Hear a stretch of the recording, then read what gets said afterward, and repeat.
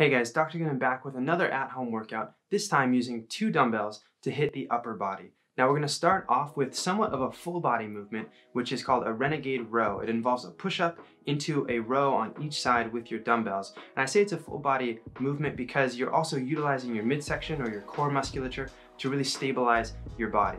So we're gonna start with renegade rows and then go on to some single joint movements, uh, namely curls and lateral raises, and then overhead triceps extensions. So it's an upper body focus workout using just two dumbbells. But first, let's get warmed up. Now we're going to start off with a pec stretch and you want to hold this for about five seconds and as you do that, contract your scapular retractors, pulling your shoulder blade back so that you can keep your shoulder locked back in retraction. And you press into it for five seconds and then relax in between. After three times on one side, switch to the other side. And you can even turn your head away or laterally flex your neck to the opposite side to increase the stretch as well. Next we'll do a shoulder stretch or deltoid stretch and all you need to do is put one arm across your body and then pull on that arm right at right above the elbow with your opposite arm. And in between I like to give a little dynamic stretch just to kind of move my shoulder through its range of motion. Next we'll go into shoulder external rotations and you just drive your elbows up so your shoulder's at 90 degrees of abduction and then rotate your shoulder externally and then internally. Try to keep your shoulders back and your chest out.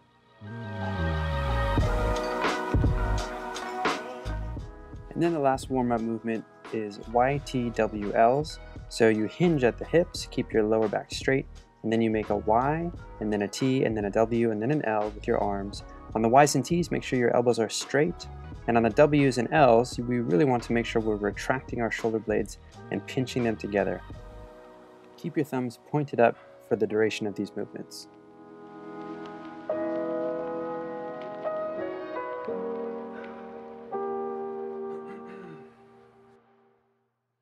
Right, guys, we've warmed up our shoulders, our shoulder girdles. We've stretched out the shoulder uh, muscles, deltoid namely, as well as the pecs. So we're gonna head into our Renegade rows. Let me demo it first and I'll give a voiceover to explain it as I do it. And then we'll head into five rounds, trying to get six reps every round, and each round is a minute. So it's every minute on the minute, we get six reps. If you finish before the minute is up, then you have the remainder of that minute for rest. But first, let me demonstrate. So for Renegade rows, you'll set your dumbbells on the floor in about push-up position, but I like to go a little bit narrower and then move my feet wider. This gives me a more stable base of support so that I can try my best to keep my hips level as I'm doing these rows. So it's one push-up and then two rows. You might have to shift your weight slightly as you go from one row to the other, but try to keep your torso straight and your hips level with the floor.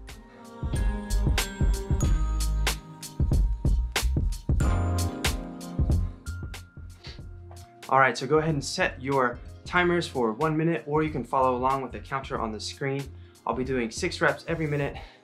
And remember, if you finish early, that's your rest. If you can't finish in the minute, then just go right on into the next round.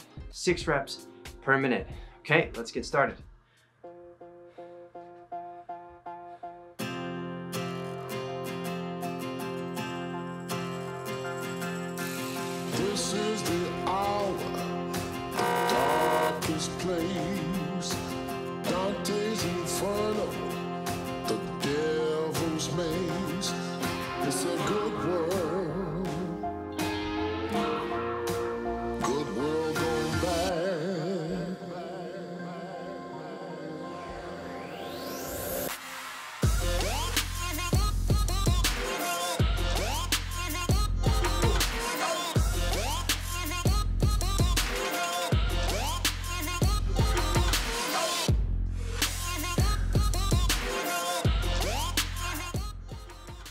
All right, about 20 seconds left.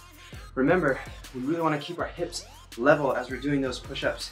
You might have to shift your weight a little bit so that you can um, pull the dumbbell up on the rows, but really try to keep your hips level. All right, five seconds.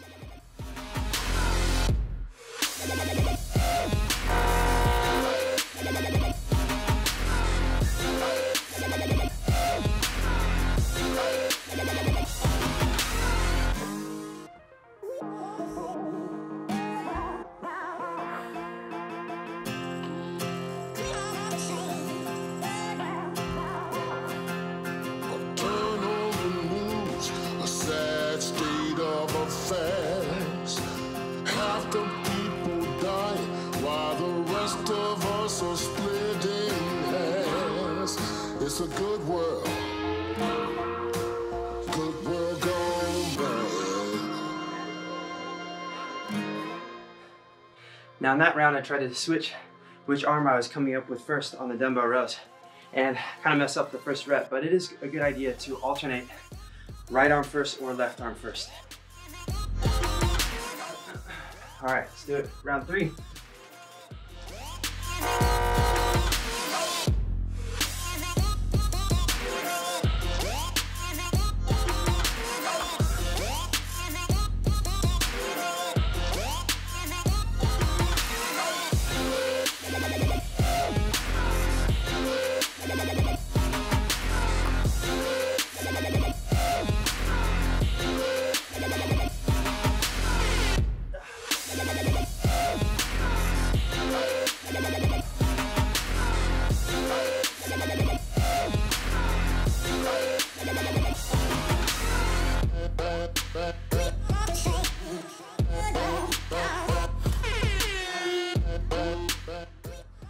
All right, guys, two more rounds.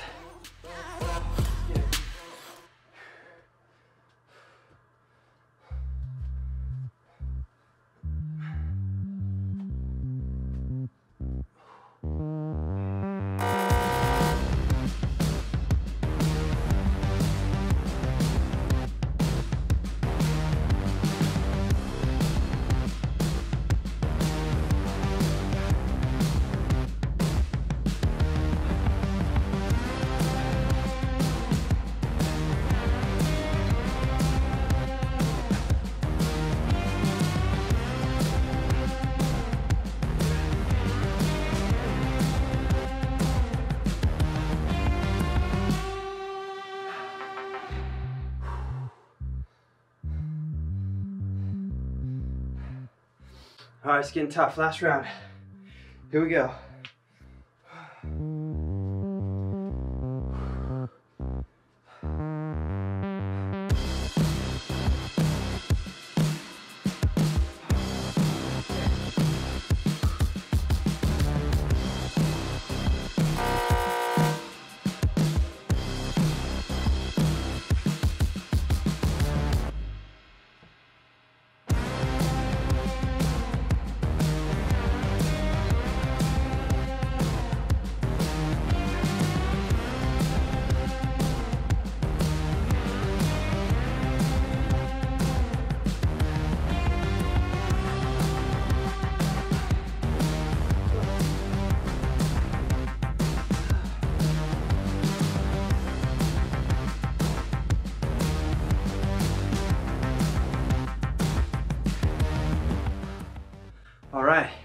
Good work.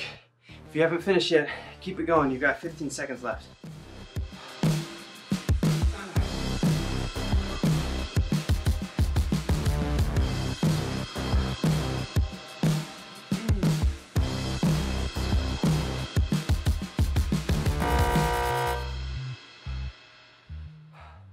All right, guys, good work.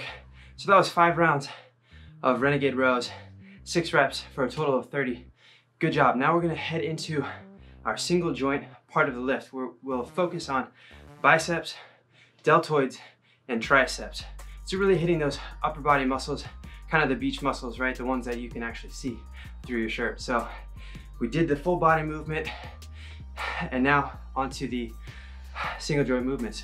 So let's take two minutes, go ahead and rest, catch your breath, and then I'll explain the next part of the workout.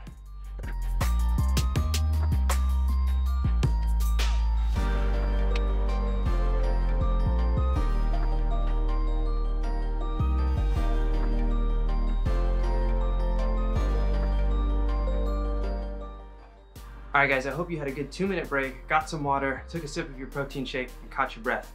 The next part of the workout will involve single joint movements, namely bicep curls, lateral raises, and overhead triceps extensions with our two dumbbells. Now we'll be doing all of these bilaterally, so both arms at once, and we'll, we'll use a strategy called myo reps. A myo rep is a rest pause technique where you start off with a set to near failure or to failure, right, until you can't do any more, then you pause for three to five full breaths, right? So you take full breaths, breathe in, breathe out, three to five times, and then you try to hit another three to five reps. And you do that three times, okay? So what it would look like with bicep curls, let's say that I can get um, about 15 reps for my first set with the dumbbells that I have. I do 15 reps, right? And it's really burning near the end. I hit 15, I couldn't do another one. I rest, I'm holding the dumbbell still for about three to five breaths. Then I try to hit five more reps if I can, or at least three more reps. Then I rest, three to five breaths, do it a second time, right? Then I rest and then do it a third time. So it's one big set followed by three small sets, but they're all very close together. And doing this um, allows you to get a bigger muscle pump in less time. So essentially there's more effective reps in those sets at the end when you're already pre-fatigued in the muscle and then you rest for a little bit and then ask the muscle to contract again. So it's called a myo rep and that's what we'll be doing. So one myo rep set on the biceps, which means 15 to 20 followed by three sets of three to five. Then myo rep set on the lateral raises, then a myo rep set on the overhead triceps extensions, all right? So you'll be feeling the burn in the muscles. It's gonna feel good at the end. You'll have a sweet muscle pump and uh, yeah, let's get it, okay? So no time constraint on this. It's just on your own. Try to hit that max set followed by the three down sets after three to five breaths in between each, okay? You can follow along. Let's do it.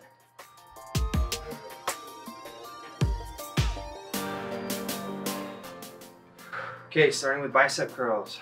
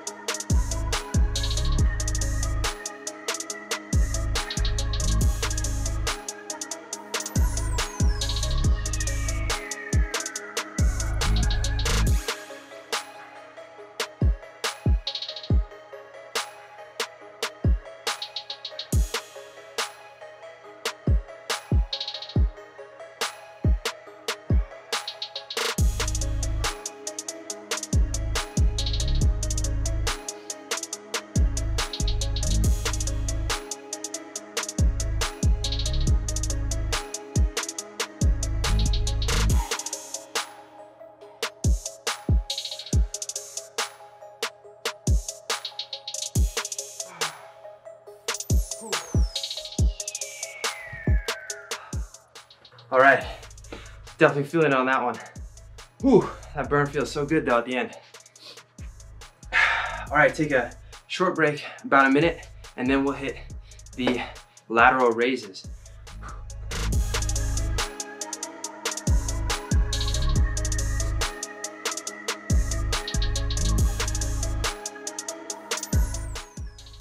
All right, time for lateral raises. Remember, one big set followed by three smaller sets of three to five reps.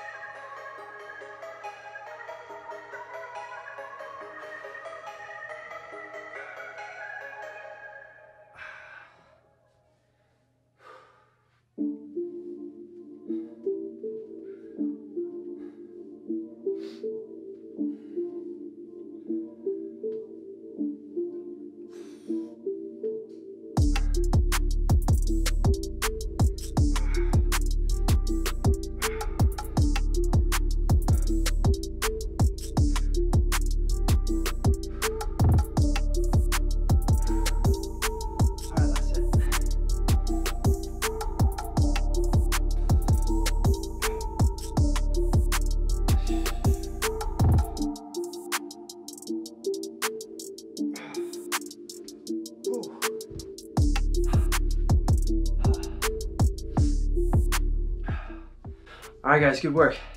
Last up, triceps. One big set followed by three down sets. Take 30 seconds to 60 seconds, catch your breath, and then we'll go right into it.